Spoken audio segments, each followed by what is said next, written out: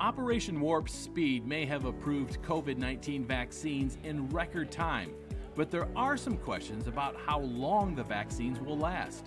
We still have to see if these vaccines are able to provide long, lifelong protection, like the measles vaccine, or shorter term protection.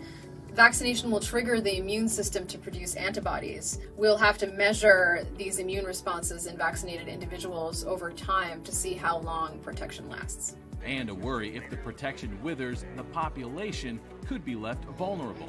But now the head of Moderna says their vaccine is likely to last for a couple of years. Welcome news for Paul and Rosalind Wexler, who are looking forward to a return to normality.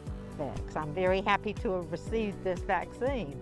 But I'm looking forward to going to shopping centers, which I have not been to, and and not wearing two masks, which I am today. Both the approved Moderna and Pfizer vaccines are up to 95% effective. But epidemiologists say making successful headway in curbing the virus comes down to herd immunity. So it's estimated that approximately 70% of the population will have to be immune to SARS CoV 2 to achieve herd immunity. And when we reach that point, the likelihood of unvaccinated individuals getting infected is significantly reduced. Experts caution mass immunization doesn't mean COVID will go away. Eradication for other infectious diseases such as smallpox took decades to achieve. Now the focus turns to getting more vaccines into the arms of those who need it.